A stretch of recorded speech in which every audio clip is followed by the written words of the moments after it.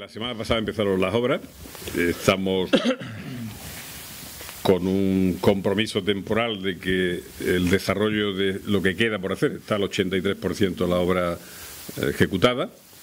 Eh, se empezará a colocar traviesas a partir de final de mayo, más o menos. Y lógicamente esa parte central de la obra que se está ejecutando tiene dos elementos complementarios imprescindibles para la funcionalidad del ramal en su conjunto. Uno es la penetración en el parque industrial y otro es la conexión con la red ferroviaria internacional del Estado, en Badoyano.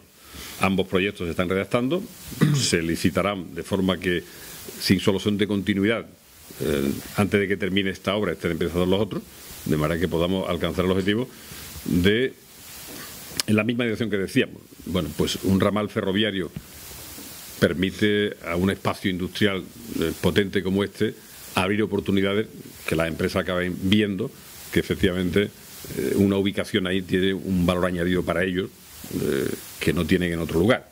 Yo creo que el mejor incentivo a la localización empresarial hoy es que las empresas efectivamente, tanto en los inputs de mercancías que reciben como en la vía de salida a mercados exteriores, tengan el menor coste posible. Yo creo que ese es un buen reclamo para eh, la ubicación de empresas en el Parque Industrial de Linares.